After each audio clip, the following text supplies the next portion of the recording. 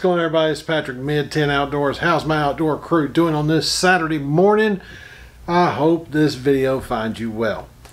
So, I've gotten into kind of a kick here lately of getting old cameras working again and usable. So, I was upstairs the other night and ran across this old guy right here. It's a Nikon Coolpix Here's a better look at it from this camera. But uh, 6.0 megapixels, ISO 800, 2.4 inch screen. Um, if my memory serves me correct, oh, and this takes uh, AA batteries. If my memory serves me correctly, I think this one got dropped. And you'll notice the lens does a kind of a funny thing. It won't zoom in and out anymore. But uh, of course, there's no memory card. But it, I mean, it's it's working. This is out of memory. But uh, anyway, so I found this old camera, threw some batteries in it, to see if it would come on, do anything, and it did. It did a couple, you know, it did that, and I was able to take a couple pictures here and there. But um, something else I found that I'm actually trying to find the battery for it, and I'm actually recording on it right now, and I keep going between shots between me using this one and using this one.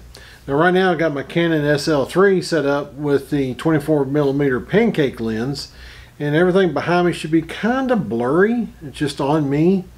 Now when I look at this screen it changes and gets a little different. So what I let me let me pick up and show you what I'm actually recording on here is this.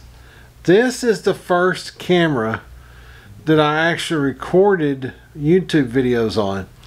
It's uh, it, it is a DVD HDD. Oh, can't see it. Excuse me. It is a DVD HDD, and it has a memory card inside. And what you can do is after you get the recording, you can throw everything on the memory card and put it on the computer. Or you can record to DVD, uh, the micro DVDs back then. So I'm recording on both. Actually, I'm going to stop this one because I don't know how long it's going to take to dump over to the HD or the uh, the little card, SD card. That's what I'm trying to say. Um, real quick, I did get the pictures, my first test pictures back from my 35 millimeter experience. I'll throw this one up. It wasn't so great, but I'll throw these up that actually turned out fairly well. Um, now, I haven't sat down in Lightroom yet to play with them, but what I'll do is I will play with them a little bit before I actually put them up on the screen. So when, when you see these come up on the screen, they've been through Lightroom and I adjusted the color.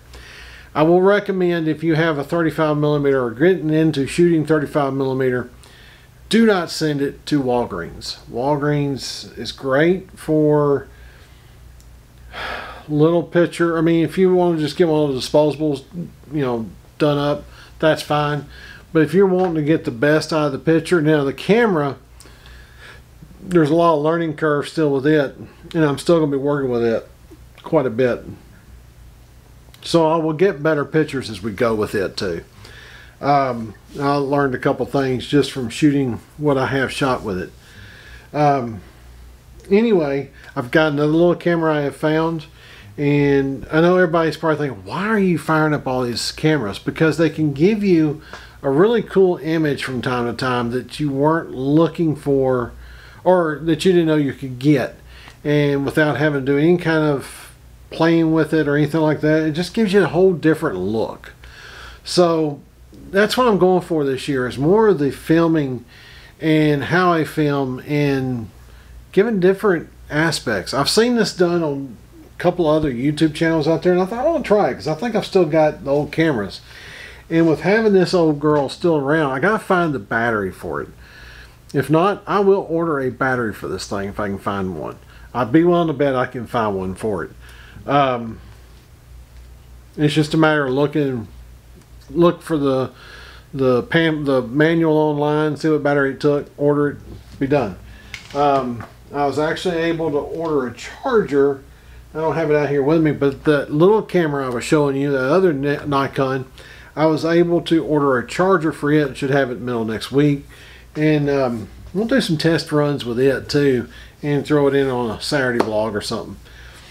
But anyway, so that's it on this one. Want to remind you that May 13th through the 15th um, camping trip. People are starting to make the reservations. We've got one coming from Texas now, and some others coming. Possibly one from Alabama that we know of that was at the unofficial first one.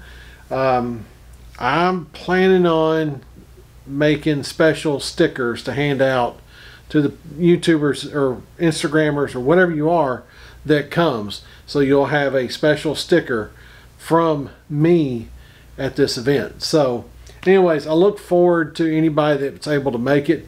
I understand there's a lot of people that watch me that are not in the area, and I get that. I understand that. But um, that's something else I may try to do this year is travel out to some other gatherings that may be out of state, and we'll see. Um, weather's starting to get nice 70 degrees today supposed to be 70 again tomorrow and nice saturday so i'm getting out saturday to do some stuff but uh, stay tuned we got a lot coming would love to see you may 13th through the 15th coming to Mountain State Park, state of Tennessee. Come down, hang out with us for the weekend. Uh, me and Tennessee Deer Stalker are staying like his my camp his campsite's over here, mine's over here. So anyway, I think I've noted it. I'll matter of fact up above I'll leave a link to that video that talks about the campgrounds and everything. All right, guys, I appreciate it. Have a great Saturday. Drink your coffee and uh, have fun. Be prepared and see you on the next one.